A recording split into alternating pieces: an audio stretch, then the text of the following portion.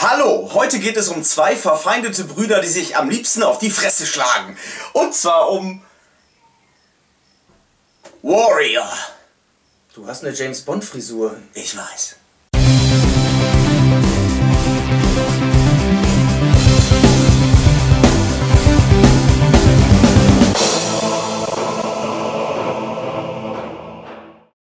Und damit herzlich willkommen zu einer neuen Ausgabe von Die schwarze Filmdose.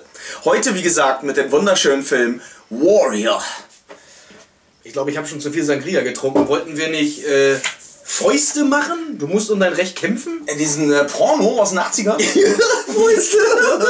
Nein, dieser komische da hier von 1992. Hier, Tommy Riley und...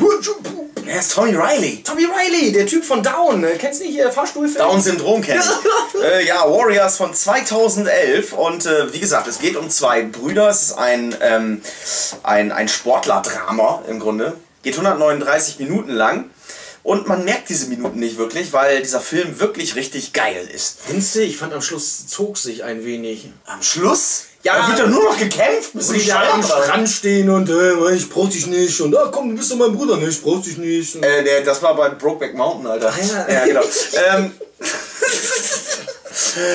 ja, davon mal abgesehen. Ähm, nein, es geht um die Brüder Brandon und Tommy Conlon und äh, im Grunde noch deren Vater Paddy Conlon, äh, gespielt von Nick Nolte. Nick Ja. Nolte hat für diese grandiose Rolle, das ist ja im Grunde fast ein Comeback, er äh, war ja sehr lange dem Alkohol erlegen. Achso, apropos. Ach, in Wirklichkeit auch?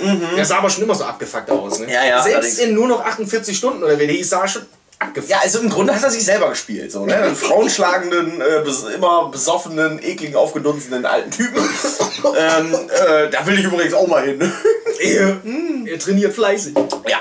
Also auf jeden Fall hat er dafür tatsächlich eine Oscar-Nominierung 2011 bekommen als bester Nebendarsteller. Er hat sie leider nicht gekriegt, weil gekriegt hat's. Äh, Tommy Riley, für den Film freust du, du musst wieder ein Recht kämpfen. Richtig. Richtig, du hast gut aufgepasst. Sehr schön. Wer hat's denn bekommen? Keine Ahnung. ist mir auch scheißegal. Schreibt uns doch einfach, wer den Oscar für den besten Nebendarsteller männlich bitte. Gut, okay, jetzt muss ich dazu ja sagen, dieser Film ist ja wirklich. Ähm, ich habe ihn ja äh, letztens gesehen, nachdem du ihn mir empfohlen hast. Und der war ja wirklich, irgendwo hatte er ja was. Nur es ist, Es ist eine Mischung aus Rocky und ähm, dem Glücksbärchi-Film. Wollen wir nicht erstmal sagen, worum es geht? Ja, es genau. sind im Grunde äh, zwei Brüder, die dann irgendwie als Kinder getrennt werden, weil die Eltern so und Zuff und tralala. Der Ja, eine weil der Vater eben Säufer ist und so. Genau, der andere ging hier zur Army und tralala, haben als Kinder schon immer viel gekämpft. Und zwar dieses, ähm, wie heißt das noch, K1-mäßig, äh, so nach dem Mixed Martial Arts, Richtig, MMA. genau. Also so Ultimate. Äh, Motto. Ja, das hat mich nicht eben immer gestört. Genau, es kommt dem Ultimate Fight immer sehr ähnlich, wer von euch noch Ultimate Fight kennt. Nur, das war natürlich eine Sportart, wo es keine Regeln gab und gar nichts. Und da ist es immer so, das ist so Mädchenkacke. So. ja, da wird auch noch getappt, äh, oder wie heißt das nochmal? Also wenn man jemanden hier so wie beim Catchen, äh, beim, beim Catchen auf den Rücken und dann muss der äh, abklatschen und Das sowas. nennt man Submission, oder? Ich weiß es nicht. Ähm, auf jeden Fall gibt es das bei Mixed Martial Arts scheinbar auch. Und äh, was eben bei Rocky das Boxen ist und bei Karate Kid äh, das Kung Fu inzwischen, scheiße, ähm, ist eben bei Warrior äh, Mixed Martial Arts. Ja, äh, worum geht's denn jetzt eigentlich? Also, du hattest ja schon angefangen, die werden genau als Kinder und so. Und, äh, leck mich am Arsch und am Schluss kommt dann eben so ein, so ein, so ein äh, äh, Final Match. Äh, wie viel kriegt gibt's dazu verdient? 4 Nein, Millionen man Dollar. muss ja oder erst mal so. sagen, das ist das wird ja so gleich eingebaut. Also Genau. die werden erstmal, die nominieren sich, um zu kämpfen für diese sonst wie viel Millionen Dollar. Dann kommt der Vater. das wissen wieder, aber voneinander nicht. fängt an, den einen Bruder zu trainieren, dann, weil der Vater war lange Alkoholiker, hier hat hier seinen Chip 100 Tage und 200 und 1000 Tage hat der Vater, glaube ich, 1000 gehabt. schafft er Aber also. die wollen ihm beide nicht so richtig verzeihen, dann gibt es immer Streitereien. Und das muss ich sagen, das ist nämlich eine Schauspielerei, die in Amerika nicht gewürdigt wird. Es ist eine unheimlich gute Schauspielerei. Von Schauspielern, die man gar nicht so kennt, aber die machen das richtig geil. Das stimmt schon, das ist auch Ja, geil. die Schauspieler, kann man ja mal sagen, äh, Brandon Conlon wird gespielt von Joel Edgerton. Wird der so geschraubt? Joel Edgerton? Ist ja auch egal. Äh, das ist der Hugo von Smoking Aces, der sein osteuropäische Sperma auf der Lederjacke hinterlassen hat. weiß nicht, Zimtschnecken? Sieben Schnecken, nein, das ist osteuropäische Sperma. Äh, ja, das ist Hugo, äh, spielt aber sehr, sehr geil im Film. Und äh, als letztes habe hab ich ihn jetzt gesehen in der Neuauflage oder dem Prequel von The Thing. Da hat er Den habe ich immer noch nicht gespielt. gesehen, obwohl der ja gut sein Kannst dir sparen, guck dir einfach äh, John Carpenters The Thing an, das reicht. Den habe ich letztens gesehen, der war auch nicht schlecht, wenn das Blut so hoch hüpft. Das Ja, okay. Also weiter zu Ähm, Fäuste mit Tommy Nein, Riley. Äh, Ziemlich guter- Wer ist eigentlich Tommy Riley, Alter? Ich kenne keinen Tommy Der Riley. hat diesen Keiner kennt Tommy Riley. Tommy Riley ist dein Vater, Alter. Der hat diesen bescheuerten äh, Potthaarschnitt. Und das ist diese Szene in Down, wo er so. Du sprichst schon wieder von Hugo, von Smoking Aces. in oder? seine Hand und dann sieht man, dass es seine eigene Hand ist. Finde ich immer noch eine grandiose Szene Ist das auch bei? Down. Nein, bei Down. Ach ist so, das. okay, bei Down. Und bei Down, äh, Quatsch, nee, bei, bei Fäuste macht nämlich auch der Typ mit der mit den weißen Haaren, der bei Cocoon mitgespielt hat. So, und jetzt kommst du. Weiße Haare? Cocoon, der Außerirdische. Ja, da haben tausend Rentner mitgespielt. Die hatten alle Nein, weiße der. Außerirdische. Da waren Außerirdische. Downey, äh, nein, Cuba Gooding Jr. Downey Down-Syndrom Junior. Auch mit. Genau. So, okay. Ähm, also wir waren ja mit der Story noch nicht so ganz durch.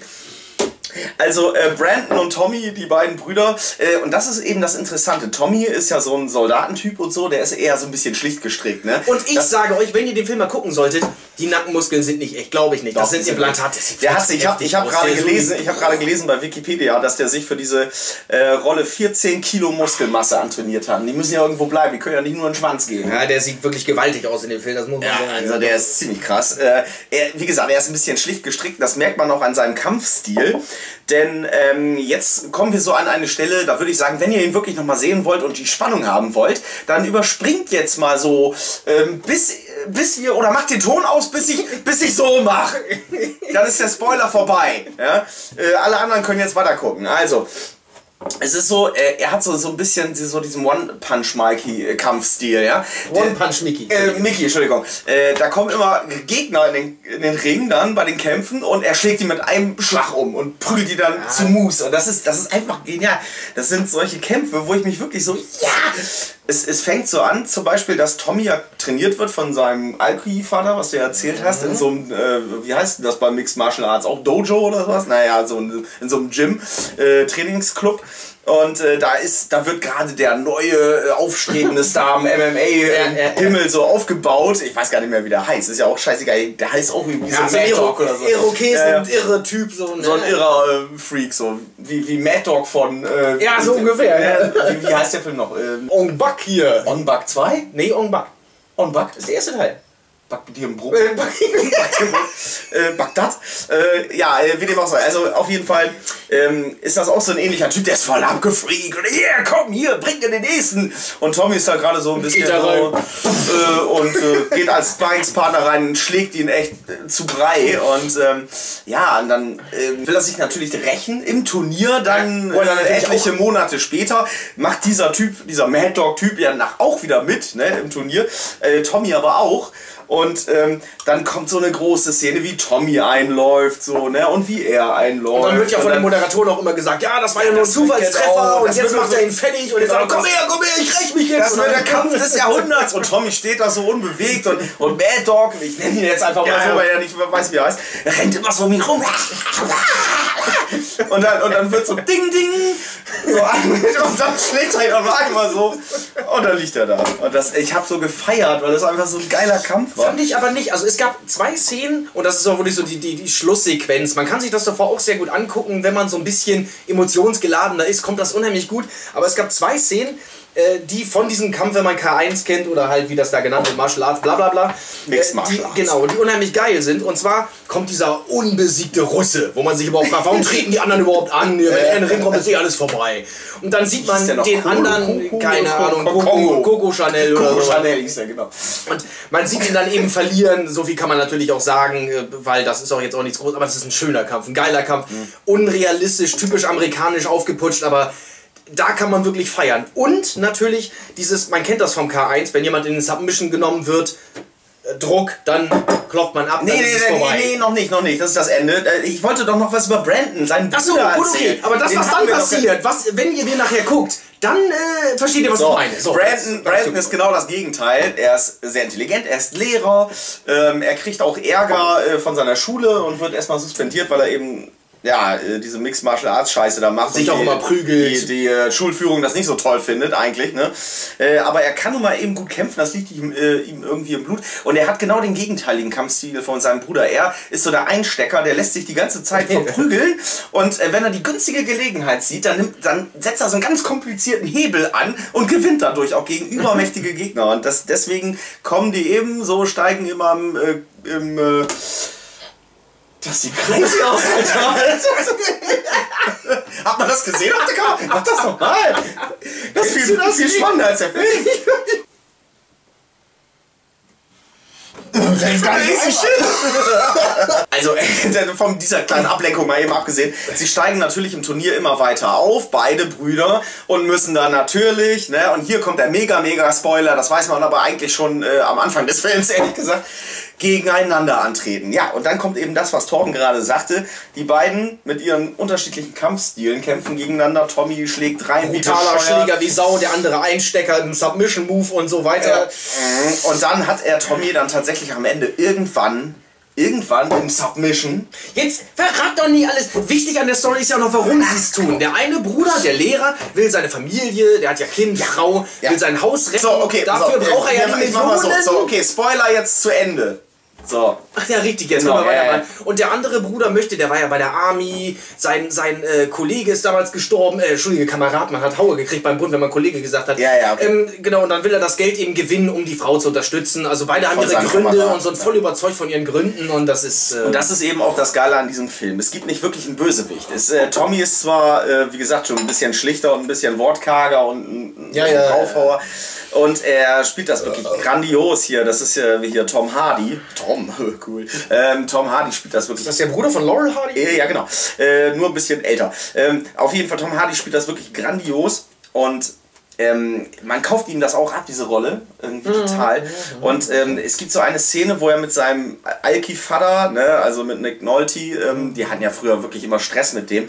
Und das haben sie ihm nie wirklich verziehen, hatten wir auch schon ja. gesagt. Und äh, wo er mit ihm redet äh, und ihn so fertig macht und Nick Nolte sagt dazu gar nichts mehr. Und man sieht einfach nur die Augen, die Augen anschwillen vor Tränen. Und das, äh, das ist einfach äh, ne, so eine Leistung. Aber ich glaube, das ist echt, weil Nick Nolte sich selber spielt ja. und an seine eigene Familie gedacht hat dabei oder Mag sowas. sein, aber das ist ähm, ja auch der Grund, was, genau das, was ich sage. Das ist eine, das ist amerikanische Schauspielerei, die nicht gewürdigt Ja, wird. das, ist, das, das ist, sieht man ja leider daran. Der Film ist jetzt nicht so besonders eben, das erfolgreich ist, das ist gute, natürliche Schauspielerei, die an die Substanz geht. Und das mögen die Amis nicht. Amis mögen, wenn irre Schauspielerei besonders gut zur Geltung kommt. Das natürlich. Und das ist eben natürliche, gute Schauspielerei.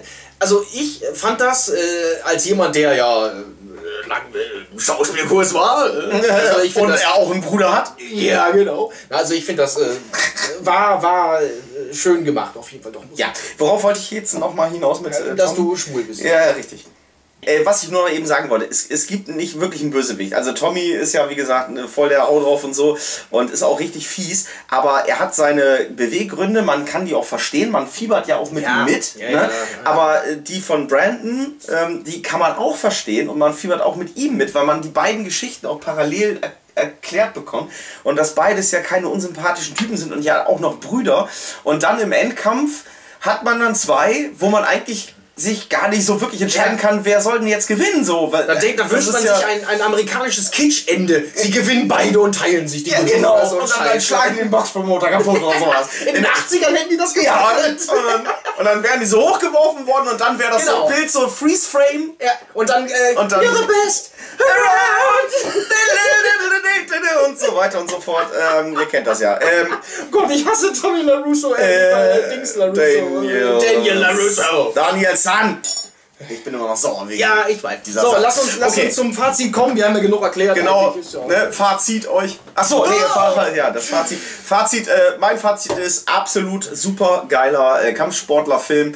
Ähm, kann man sich auf jeden Fall reintun, wenn man dieses Genre mag und auch nette Kämpfe mag. Äh, und gute Schauspielerei und auch mal eine Szene erträgt, die nicht voll ist mit Michael Bay Explosion. so, äh, das, das hat auch gefehlt. Gibt's ja heute, gibt's ja heutzutage leider nicht mehr. Ähm, so oft. Okay, äh, für, von mir kriegt der Film 9 von 10 Punkten.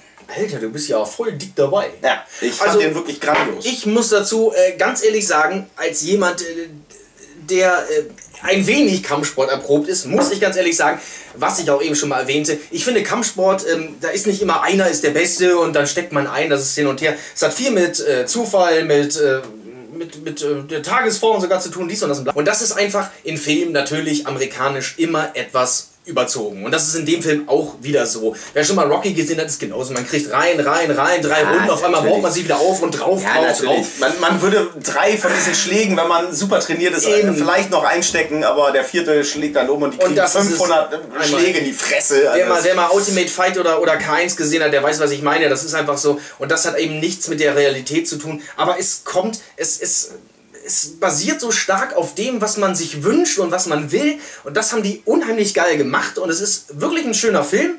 Und deswegen gebe ich ihm 8 von 10 Punkten. Jetzt habe ich dich gefickt! Ich fick euch alle! Und ich bin Tommy Riley!